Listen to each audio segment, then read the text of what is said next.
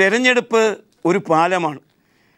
ആ പാലം കടക്കുവോളം രാഷ്ട്രീയ പാർട്ടികൾ നാരായണ ജപിക്കും. കടന്നു കഴിഞ്ഞാലോ തിരിഞ്ഞു നിന്ന് കൂരായണ എന്ന് ജ എന്ന് ജപിക്കുക. നമുക്ക് അസാമാന്യമായ നമുക്ക് ഇതുവരെ ലഭിച്ചിട്ടില്ലാത്ത അനുഭവമൊന്നുമല്ലല്ലോ. ദേശാഭിമാനിയുടെ ഒന്നാം പേജിലെ ഒന്നാമത്തെ വാർത്തയുടെ നിരീക്ഷണവും അതുതന്നെയാണ്. തെരഞ്ഞെടുപ്പ് കഴിഞ്ഞാൽ കേരളത്തിൽ ലോഡ് ഷെഡിംഗ് ഉറപ്പ് വൈദ്യുതിയുടെ വിലയും കൂടും. തെരഞ്ഞെടുപ്പായിരിക്കുന്നത് കൊണ്ട് ലോഡ് ഷെഡിംഗ് ഇല്ല വൈദ്യുതിയുടെ വില കൂട്ടലില്ല ഇതൊന്ന് കഴിഞ്ഞോട്ടെ. ഏപ്രിൽ പത്തൊന്ന് കഴിയാൻ കാത്തിരിക്കുന്നു കെ എസ് സി ബി എന്നാണ് ദേശാഭിമാനി പറയുന്നത്. ദിലീപ് മലയാലപ്പുഴ ആ വാർത്ത തരുന്നത് ഇങ്ങനെ.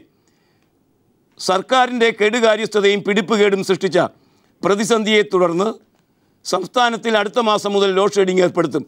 വൈദ്യുതി നിരക്കും വർദ്ധിപ്പിക്കും. വൈദ്യുതി ബോർഡിന്റെ മറ്റ് സേവനങ്ങൾക്കുള്ള നിരക്കും ഉയർത്തുക തന്നെ ചെയ്യും. തെരഞ്ഞെടുപ്പിലെ തിരിച്ചടി ഭയന്നാണ് തീരുമാനങ്ങൾ രഹസ്യമാക്കി വച്ചിരിക്കുന്നത്. ഇതിനുള്ള തീരുമാനങ്ങളെല്ലാം കൈക്കൊണ്ട് കഴിഞ്ഞിരിക്കുന്നു. ലോഡ് ഷെഡിങ് തലങ്ങും വിലങ്ങും വരും. ഉള്ള വൈദ്യുതിക്ക് വില കൂടും. അതിനുള്ള തീരുമാനങ്ങൾ എടുത്തു കഴിഞ്ഞിരിക്കുന്നു. തെരഞ്ഞെടുപ്പിനെ ഭയന്ന് പുറത്തേക്ക് വിടുന്നില്ല. തെരഞ്ഞെടുപ്പ് അത്രത്തോളം സഹായകമായിരിക്കുന്നു ബഹുജനങ്ങളെ സംബന്ധിച്ചിടത്തോളം. യു ഡി എഫ് തെരഞ്ഞെടുപ്പിൽ തോറ്റാൽ ആ പരാജയത്തിന്റെ ഉത്തരവാദി മറ്റാരുമല്ല താൻ തന്നെയായിരിക്കും എന്നാണ് മുഖ്യമന്ത്രി ഉമ്മൻചാണ്ടി പരസ്യമായി പ്രഖ്യാപിച്ചത്.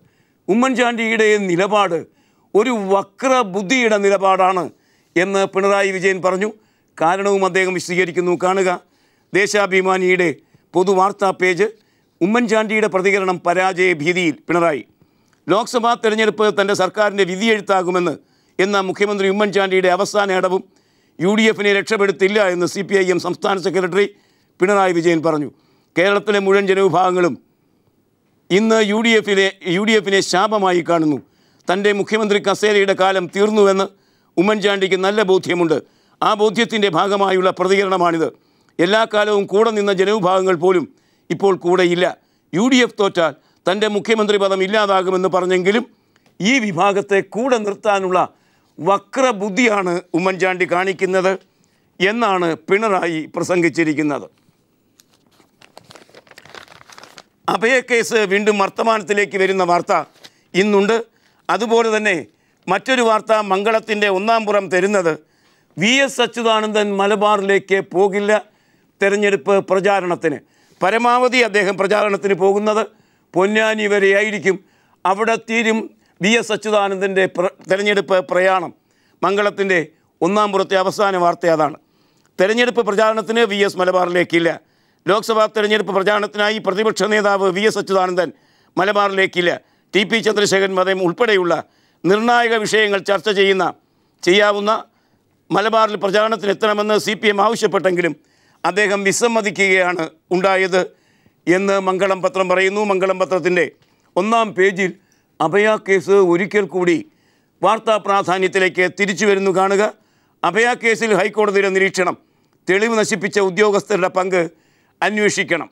സിസ്റ്റർ അഭയ കൊലക്കേസിൽ തെളിവ് നശിപ്പിച്ച മുഴുവൻ ഉദ്യോഗസ്ഥരുടെയും പങ്ക് അന്വേഷിക്കാൻ ഹൈക്കോടതി ഉത്തരവിട്ടിരിക്കുന്നു എന്നാണ് മംഗളത്തിന്റെ ഒന്നാം പുറ വാർത്ത നമ്മോട് പറയുന്നത്.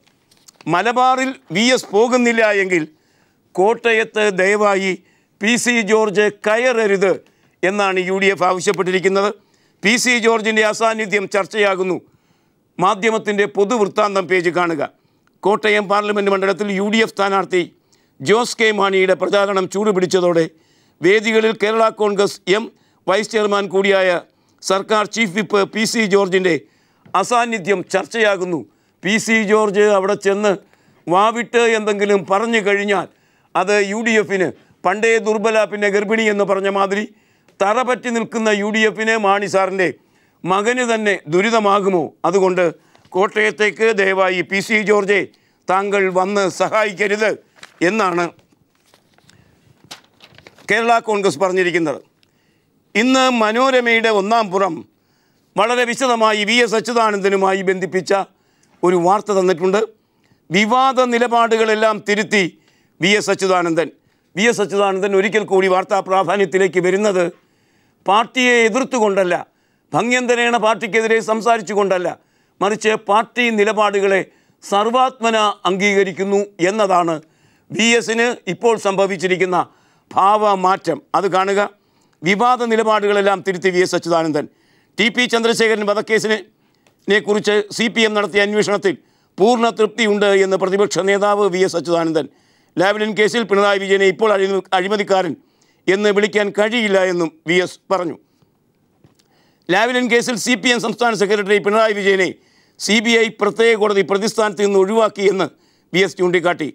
മേൽക്കോടതികളിൽ മറ്റ് നടപടികളുണ്ടായാൽ അപ്പോൾ അഭിപ്രായം പറയാം. ഏതായാലും ടി പി വധം മാത്രമല്ല ലാവലിനും മൗലികമായ തിരുത്തു വരുത്തി എന്ന് പറഞ്ഞാൽ ഈ രണ്ട് കാര്യങ്ങളിലാണ് വി എസ് ഇടഞ്ഞു നിന്നിരുന്നത്. രണ്ട് കാര്യങ്ങളിലും പാർട്ടി നിലപാട് വി എസ് കൈക്കൊണ്ടു കഴിഞ്ഞിരിക്കുന്നു. എന്നാണ് ഈ വാർത്ത നമ്മോട് പറയുന്നത്. ഒപ്പം ഒരു കാർട്ടൂണും ബൈജുവിന്റെ ഒരു കാർട്ടൂണും ആ ഒന്നാം ആ രണ്ടാം വാർത്തയ്ക്കൊപ്പം ഇന്ന് മനോരമ തന്നിരിക്കുന്നു. തെരഞ്ഞെടുപ്പ് ആസന്നമായിരിക്കുമ്പോൾ എൻ സി പി ആരുടെ കൂടെയാണ്? എൽ ഡി എഫിന്റെ കൂടെയോ? യു ഡി എഫിന്റെ കൂടെയോ? കയ്യാലപ്പുറത്തെ തേങ്ങ എന്ന നിലയ്ക്ക് എൻ സി പിയെ വിലയിരുത്തിക്കൊണ്ടുള്ള വാർത്തകൾ ഉണ്ടായിരുന്നു. കേരള കൗമുദിയാണ് ആ വാർത്ത ആദ്യം ബ്രേക്ക് ചെയ്തത്. ഇന്ന് കേരള കൗമുദിയുടെ ഒന്നാം പേജിൽ അതിന്റെ തുടർ വാർത്ത. എൻ സി പി തീരുമാനം ഇന്ന് വരും. കേരളത്തിലെ രാഷ്ട്രീയ നിലപാട് സംബന്ധിച്ച എൻ സി പിയുടെ നിർണായക യോഗം ഇന്ന് മുംബൈയിലെ പാർട്ടി ആസ്ഥാനത്ത് നടക്കും രാവിലെ പതിനൊന്ന് മണിക്ക്. അതിനെ അതേ സംബന്ധിച്ച് അതിനുശേഷം എൻ സി പി ആരുടെ കൂടെ എന്ന കാര്യം തീരുമാനിക്കപ്പെടുമെന്ന് കേരള കൗമുദി പറയുമ്പോൾ ദൃശ്യമാധ്യമങ്ങൾക്ക് ഇന്ന് ഒരു വാർത്താ വിരുന്ന് ബോംബെയിൽ നിന്ന് പ്രതീക്ഷിക്കാം എന്നാണ് ഈ വാർത്ത അന്യഥ നമ്മോട് പറയുന്നത്. തിരഞ്ഞെടുപ്പിൽ മത്സരിക്കാനുള്ള അയോഗ്യതാ മാനദണ്ഡം എന്നത് തിരഞ്ഞെടുപ്പിൽ ഏതെങ്കിലും കേസിൽ ശിക്ഷിക്കപ്പെട്ടാൽ മത്സരിച്ചുകൂടാ.